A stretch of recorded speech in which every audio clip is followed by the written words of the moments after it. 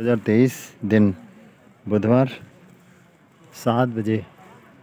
अभी जो मीटिंग गोष्ठी के बाद शांति पाठ हुआ है, उसके बाद इस प्लेटफॉर्म की स्थिति। ये बैक में देखिए, बहुत कुछ दिख रहा होगा।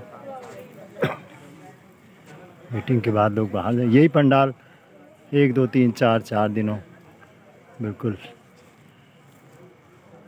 एक्टिव रहेगा। डेक्स आ चुके हैं सब। तैयारियाँ फाइनल होती हुई